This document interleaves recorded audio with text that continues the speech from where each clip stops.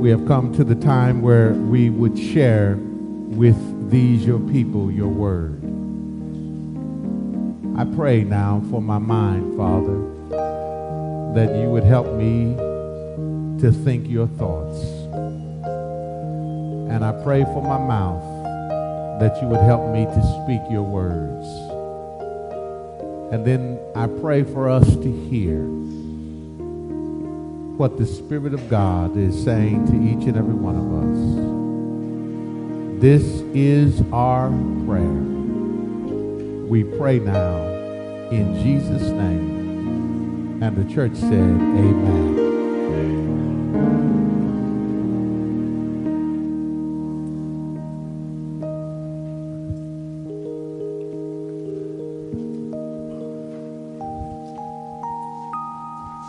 We have been laboring for a number of weeks in this sermonic series, Getting in Line for God's Favor. Getting in line for God's favor. The background scripture was Psalms, the fifth division. And we focused in on verse 12. For thou, Lord, will bless the righteous. With favor wilt thou compass him as with a shield. God promises in this particular passage to bless the righteous by encircling that person with the favor of God. Three points I want to reiterate, and then we will move forward in this particular area or what God has for us today. Point number one when God says he will bless the righteous, to be righteous, and I'm saying this over and over and over again, to be righteous is to each and every day purposefully seek and align your will with the will of Almighty God. We do this by prayer. When you get up in the morning, before you start your busy day, pause and pray. Ask God to reveal his will to you as to what he would have you to do. In that you are sensitizing yourself to the presence of Almighty God. If you get up and you start your day and you forget to pray, when you remember, pause and pray. If it's not until you get ready to go to bed at night and you have forgotten to invite God's will into your life that day, and you begin to look back on your day and realize that your day was filled with disappointments and turmoil, ups and downs, don't get discouraged. Repent. Say, repent. And make the decision that tomorrow, if God allows us to wake up, I'm going to start my day out the what? Right way. And that is by inviting His will into our lives. We do that through prayer and through obeying the teachings of the Lord Jesus Christ. Point number two, to be blessed. And he says, I will bless the righteous. To be blessed is to be empowered by God to prosper. I like that. Because when God gives you power to do something, no one can stop you. God wants to empower us to prosper us. Remember, God wants you blessed over and over again in Scripture. God is saying to us that He wants us to be blessed. But the way we are blessed is by choosing to walk in His Word. When we walk in God's Word, obedience always produces blessings. Can you say amen? Obeying His will is what produces the blessings in our lives. And so I would say to you, whenever there is a choice to do it your way or do it God's way, do it God's way. And realize that when you do it God's way, no matter how it looks, God's power and God's blessings will be there for you. Can you say amen? And then, point three, what exactly is the favor of God? And this is what we are talking about, and this is what we are saying God is making available to us. The favor of God is Him influencing others, influencing others to be kind. Say kind. Yeah, that's a good word, isn't it? To be gracious and helpful to you to benefit you, to aid you, and to show you partiality for your success. God wants to give you his favor. His favor influenced other folk. Where you are running up against a brick wall, when you have the favor of God, God opens the way for you. He gives you favor. He gives you kindness. And it is demonstrated in the individuals that you deal with. I like that. Amen. Listen, I don't care how good we are, we need the favor of God. And I don't care how smart you are, how bright you are, you need God's favor. And God's favor is available to each and every one of us. God wants to bless you beyond your wildest imagination. Whether you qualify it for not, if you got the favor of God, God will open the door for you and you'll be able to obtain the thing that you're desiring. Say amen, somebody. So God's favor is available to us, and that is what we must cherish. Now, let me say this to align ourselves so that we are recipients of the favor of God requires for us to purposely live by the sum of the law expressed by the Lord Jesus Christ. Please write this down. If you can't remember anything in this sermonic series, and I hope you can, but remember Matthew 7 and 12. So then, in everything, treat others. How we, we, we, we talking about other people. Treat others the same way you want them to treat you. For this is the essence of the law and the writings of the prophets. We say it like this do unto others as you would have them to what? To do unto you. This is the way we must treat people in order to keep the favor of God in our lives. When we retaliate, when we fight back, when we, we try to even the score, then it cuts us off from the favor of God. And when the favor of God is not in our lives, things become difficult. And so we cannot afford to allow ourselves to get in the gutter with other people. Say amen. We've got to live our lives. Are y'all hearing me? We've got to live our life. And I know this is difficult. God never said it would be easy. But that's what His grace is there for. His grace is there to empower you, to give you a little something extra so that you can do what God is asking you to do. Please listen to me carefully.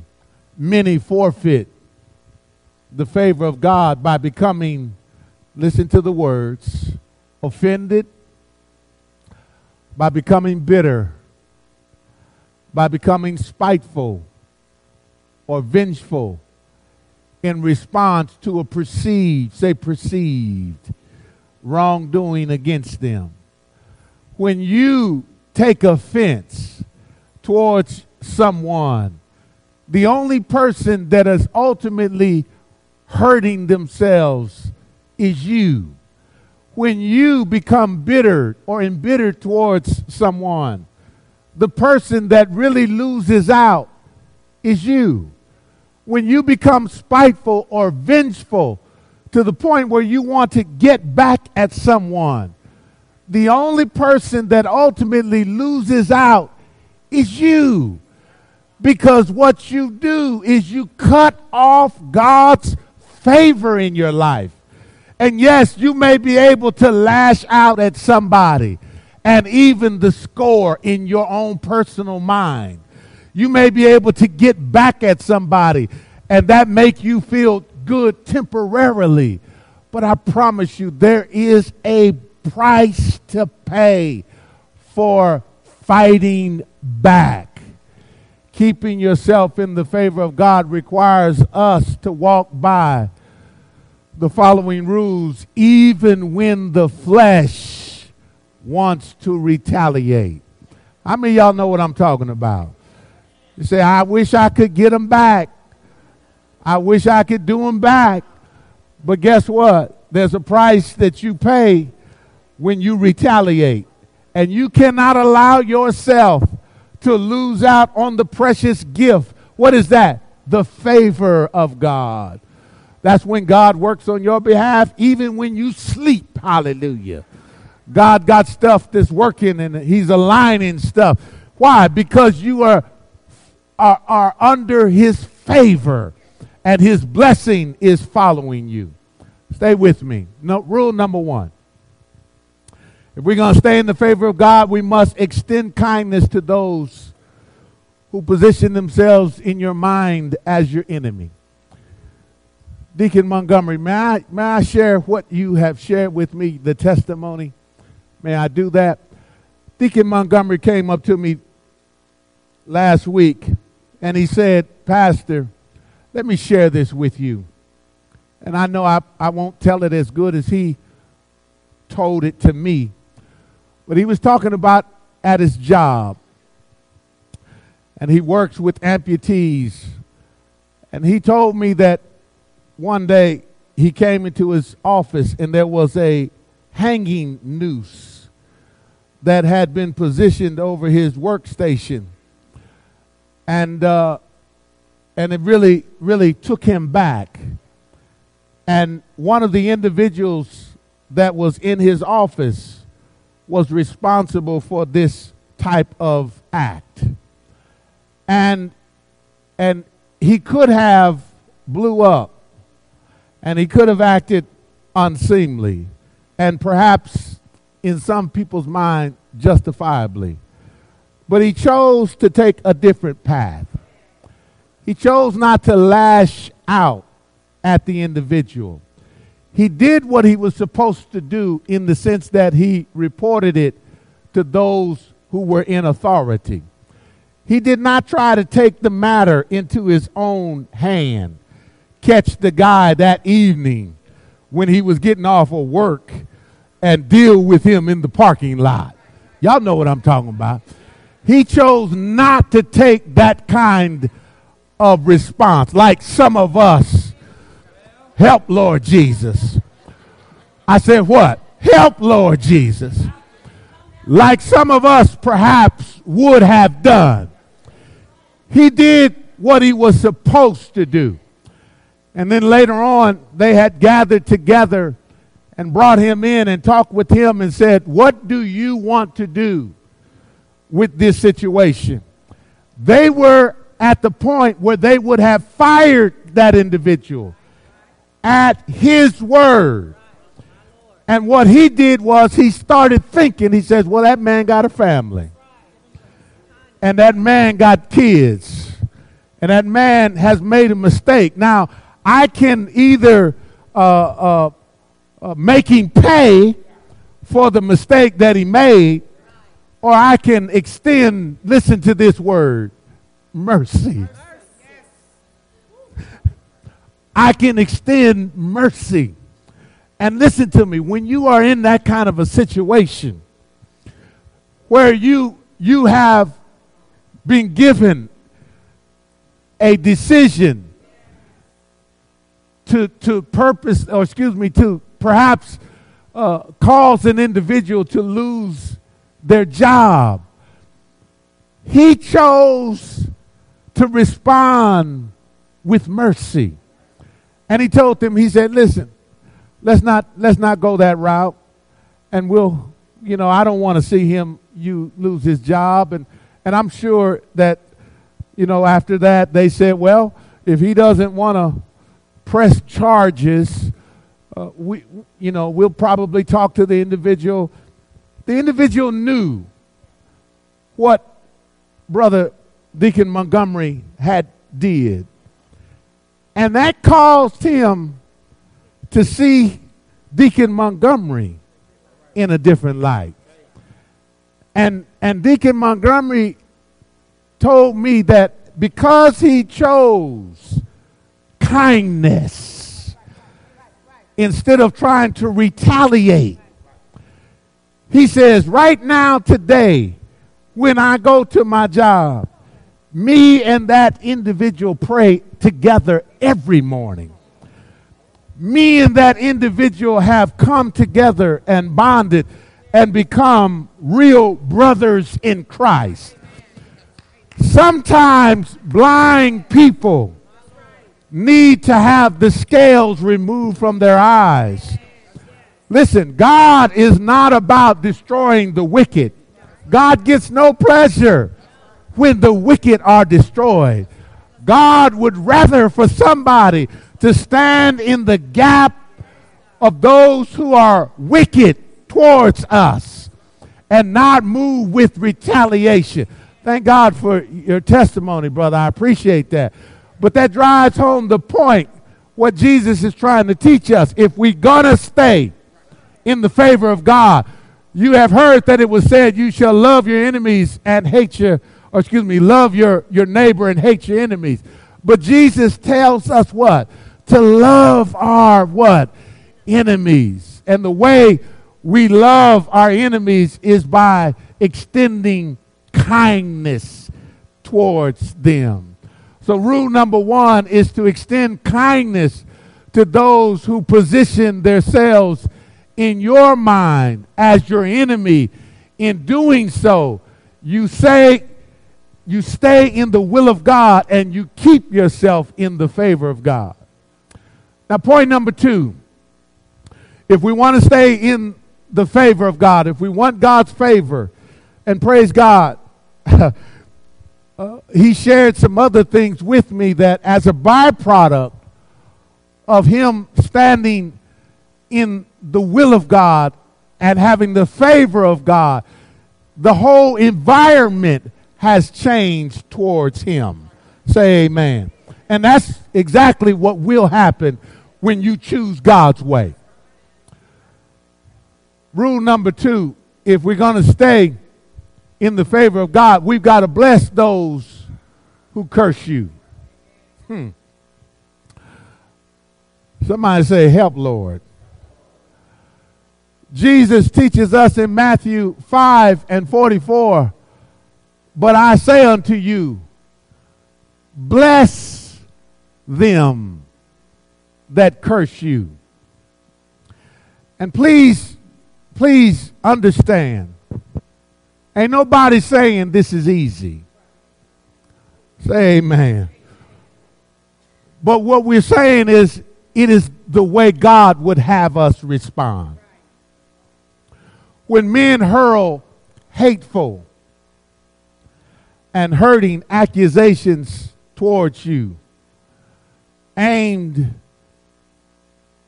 at disheartening and destroying you. To stay in the favor of God, we cannot respond in the same manner. And if you live for any length of time, somebody is going to curse you. Am I right about it? Everybody here that is alive that has to deal with people, at times we are going to have to deal with insults and accusations.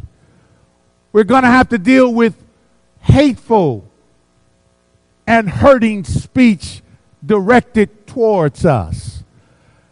And when they do that, we cannot afford to respond in like manner.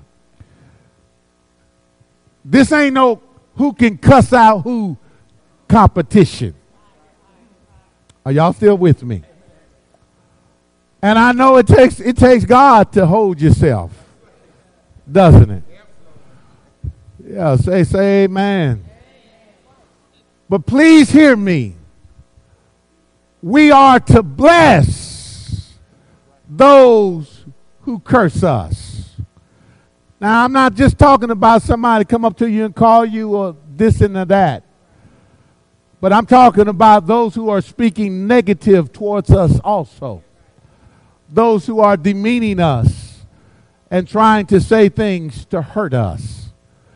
We cannot respond in like manner and still have the favor of God on us.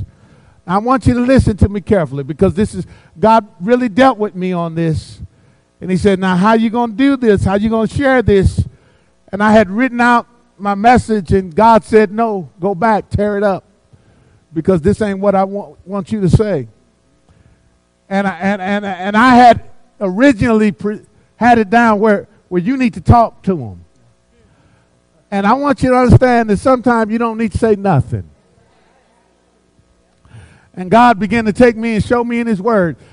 He says, God calls for you to bless those who curse you. Now, listen to me carefully. To bless those who curse you does not mean we are to say something good about them. Because that may be a lie. Because in all likelihood, they are not doing anything worthy of praise. And when I first read that and first started meditating on it, I said, well, what we're supposed to do when somebody says something bad about us, we're supposed to say something good about them.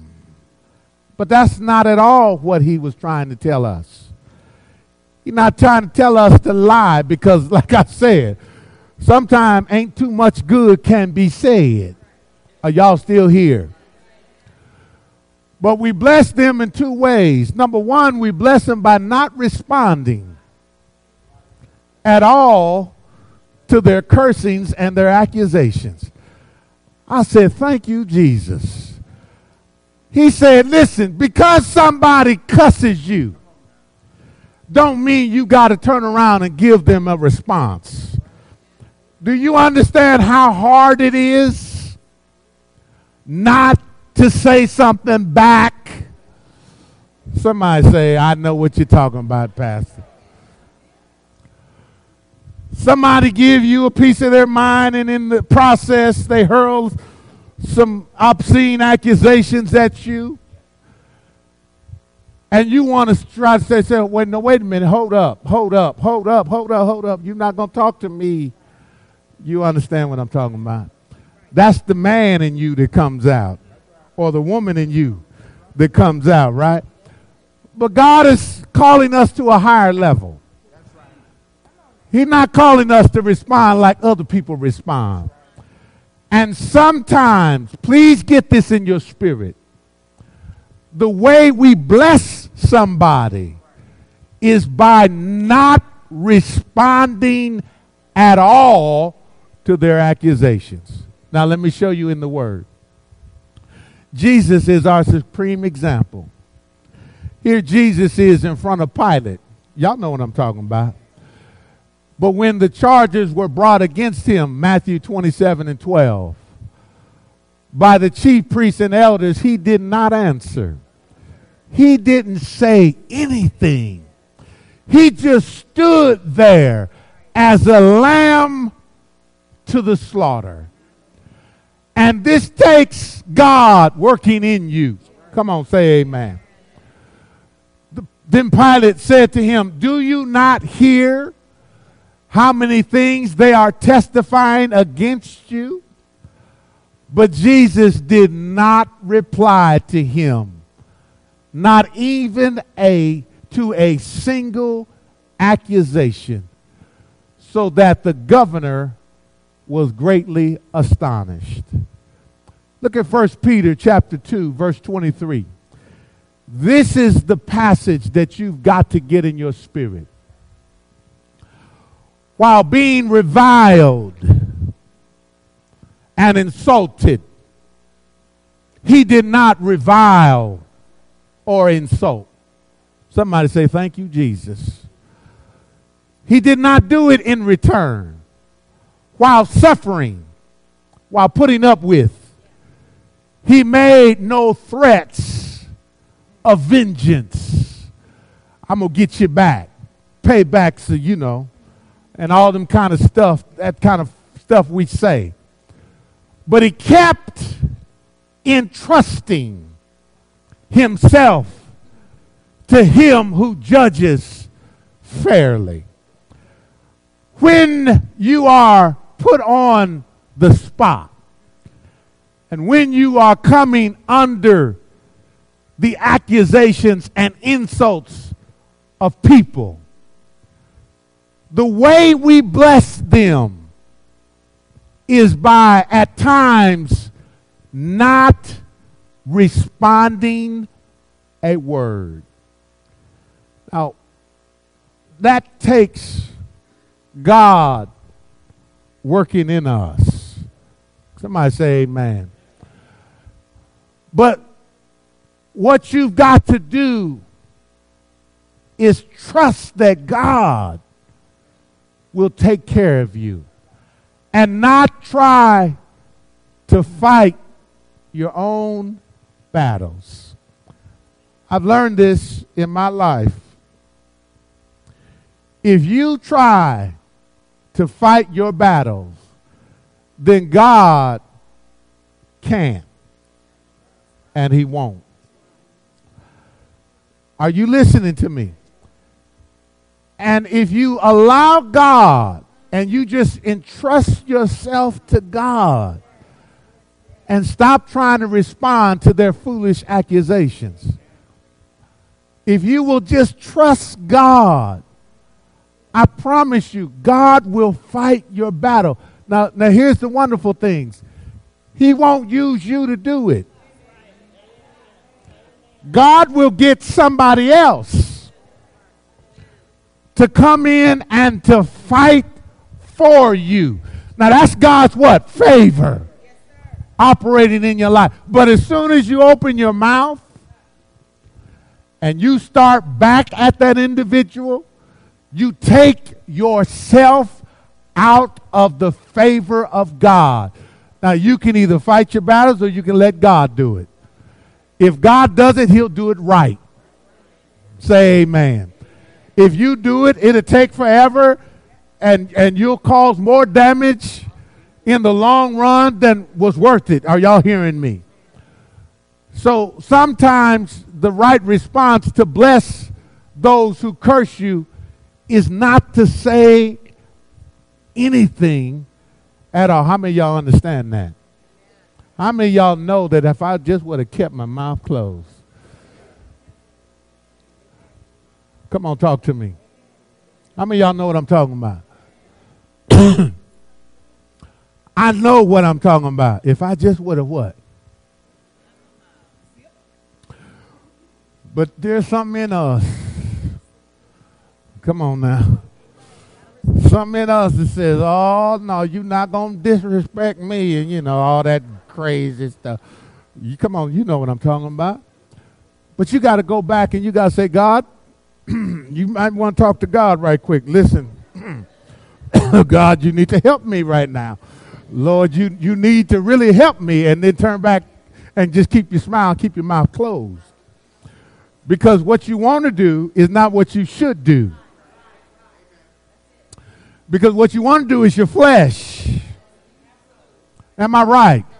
How many y'all know what I'm talking about? How many of us would have avoided a big old blow up this morning?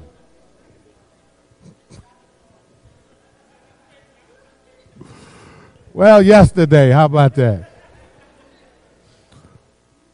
Sometimes we need to just be quiet. You can't argue with somebody ain't talking back to you. And then number two,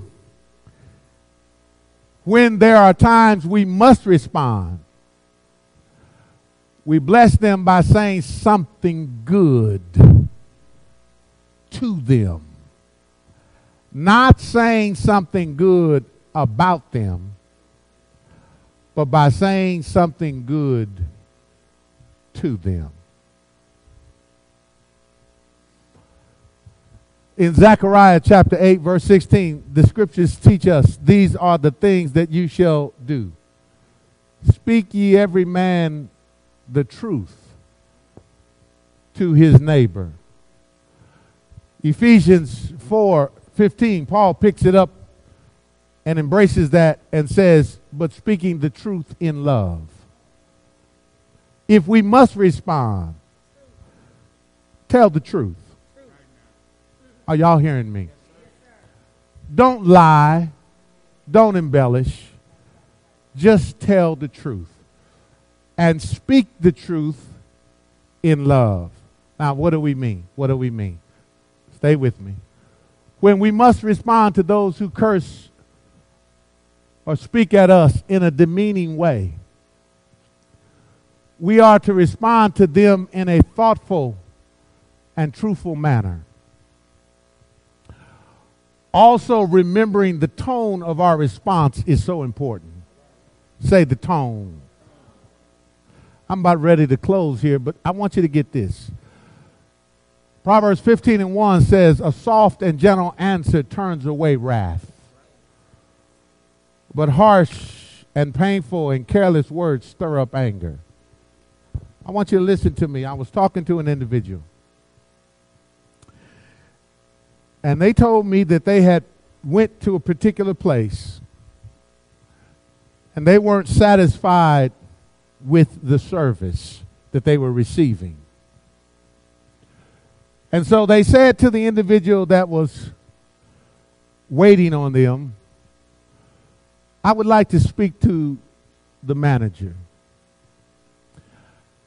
And the person turned around and said, Well, can I help you with your situation? And the individual said that he said to the person, No, not unless you're the manager. Now, what that did was stir up anger. Because you could have come at it in a much softer way. Instead of allowing the testosterone in us to rise up. And so the person went off and and you got to remember people are just paying they get paid to do a job. I mean, you know, be sympathetic. They went and get a manager. and so the, the individual comes out and says, Sir, can I help you? And the person said, They said, Not unless you're the manager. You can't help me. And the person went on to say, Well, I'm the assistant manager. And soon I'll be the manager. Uh, but I'm the assistant manager at this time. And the individual said, Well, when you soon become the manager,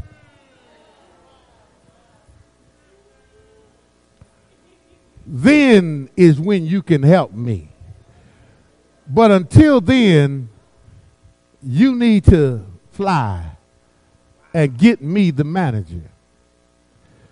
Now, when the individual told me that, I shook my head and said, All that does is stir up strife, stir up anger. What is the point to it? If you need something rectified and and you get you feel you you are mistreated. There is a right way to respond. Are y'all hearing me? You don't have to try to one up on somebody. That's that's not God's way. That is the way of the world. Now, just because you done made everybody, you know, put everybody in their place, and now you the big dog, and you done straightened them out, and you done gave them a piece of your mind. That's not God. All you did was kill the favor of God operating in your life.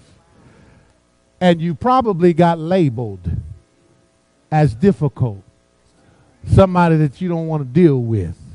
Let's hurry up and get them up and out and try to avoid them to the best of our ability. All you do is hurt yourself. Are y'all hearing me? So we cannot afford to respond in a smart aleck way. We have to choose soft and gentle words. It turns away wrath by patience and a calm, say calm spirit. Don't let yourself start spiraling out of control. The only thing happens is your blood pressure going to go up. And before you know it, you're having a stroke. And you're on the floor fighting for your life don't respond in like manner. Trust and entrust yourself to God. A soft and gentle tongue breaks the bone of resistance. I mean, you know I'm telling the truth? I wasn't going to share this, but I'm going to share it, and then I'll be done and I'm talking maybe 15, I don't know, years. I can't remember the whole thing, but I do remember you, Minister Murdoch. I remember one time I was upset. This was at the old church when we was in the other building. Long, long time ago. I'm going to say it was 50, at least 50, 60 years ago.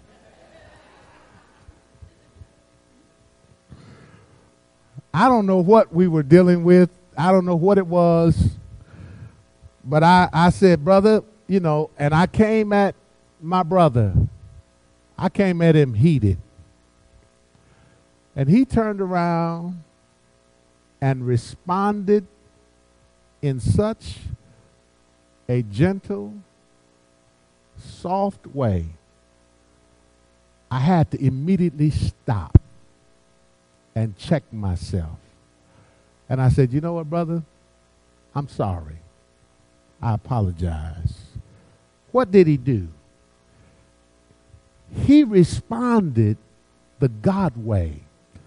And what did he do? He helped me get back and, and keep things in perspective instead of spiraling out of control. Many times, God wants to use you in those situations. But you got to learn how to respond the right way instead of escalating the situation. God wants you to be that calming spirit. Oh, say amen, somebody. He wants you to be that calming spirit in that situation to de escalate it. Because in the final analysis, listen, it's not that big of a deal. We're going to be all right. Somebody say amen. How many y'all know that's the truth? So the next time, and there will be a next time for all of us, when someone curses at you to remain in the favor of God, extend kindness. Don't retaliate. Don't try to hurt them. Position yourselves as the solution to the problem. And then bless those who curse you, at times by not saying anything at all. And when you do got to talk, speak the truth in love, remembering that the soft answer turns away wrath. Can you say amen? Amen. Close your Bibles. Amen.